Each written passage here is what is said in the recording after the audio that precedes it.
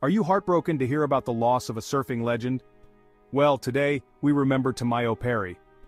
Tamayo Perry, a renowned surfer and lifeguard, tragically lost his life in a shark attack off the coast of Oahu, Hawaii. At 49, he was surfing near Goat Island when the unthinkable happened. Perry rose to fame in the early 2000s for his extraordinary skills, particularly on the North Shore Pipeline. His fearlessness and talent earned him global respect. But Perry wasn't just a surfer. He also made his mark in Hollywood, appearing in movies like Blue Crush and Pirates of the Caribbean. Despite a near-fatal accident years ago, Perry used his experience to teach others about surf safety and etiquette. He once said, The lessons I've taken from that event have inspired me. The surfing community mourns the loss of a true icon, but his spirit will continue to inspire new generations. Tamayo Perry may be gone but his legacy will ride the waves forever.